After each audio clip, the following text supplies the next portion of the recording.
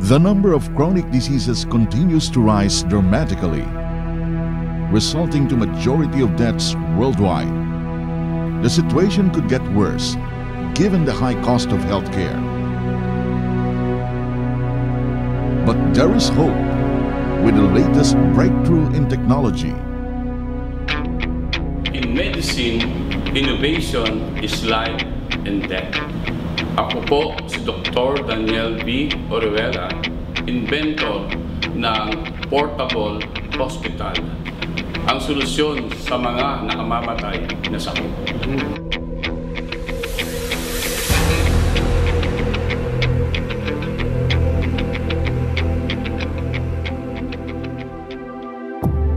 The portable hospital targets and eliminates some of the leading causes of death worldwide heart disease, stroke, lower respiratory infections, diabetes, cancer, and HIV.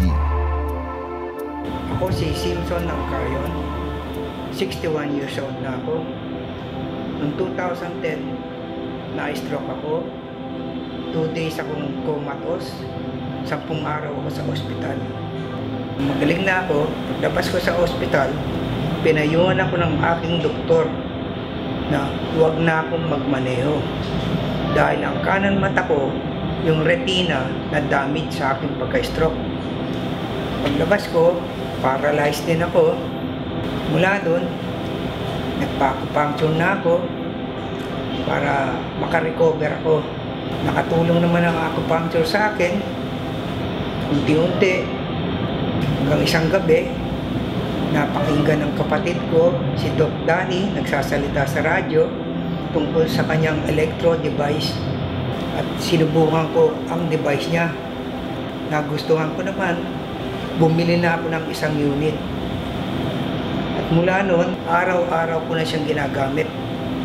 Dalawang oras ko siya ginagamit gabi-gabi bago matulog.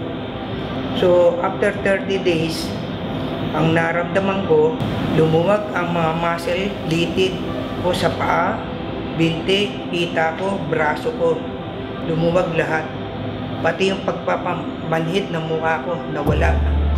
Yung dalawang ugat na nagbara dito, tumaba siya eh.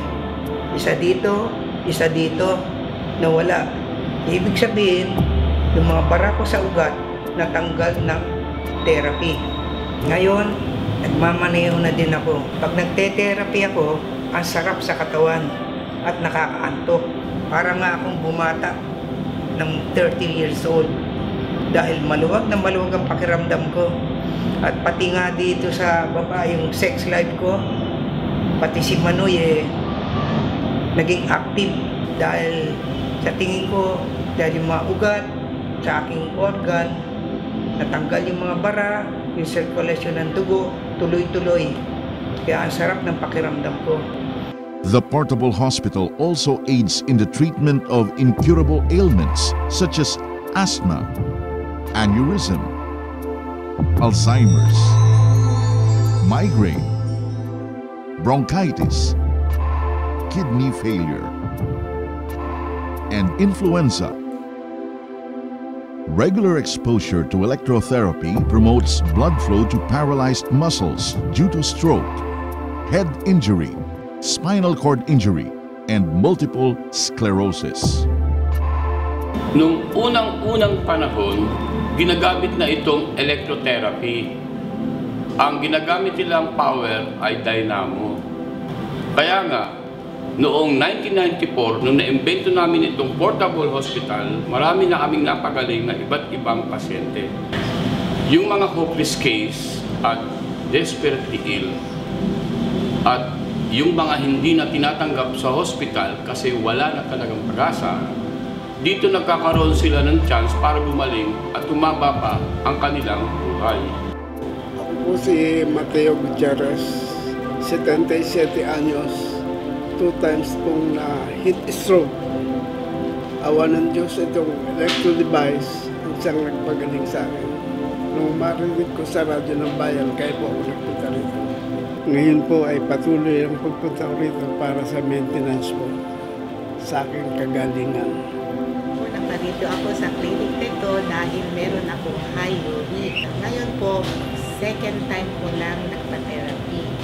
Nung napakinggan ko lang sa radyo, sa radyo ng bayan, munta kami dito agad ang aking asawa.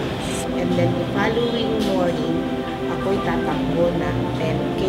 So, naramdaman ko na may improvement kasi hindi masyado kumirot ng aking mga paa. So, inulit ko ulit pumunta. Matagal ko nang ginagamit itong portable hospital. At ito ang nagpagaling sa akin sa kidney failure. Hanggang ngayon, ginagamit ko pa rin itong portable hospital para lumagas ang aking katawan. This revolutionary electrotherapy treatment is an excellent alternative to therapeutic and preventive health and wellness. It is chemical free, painless, and non invasive.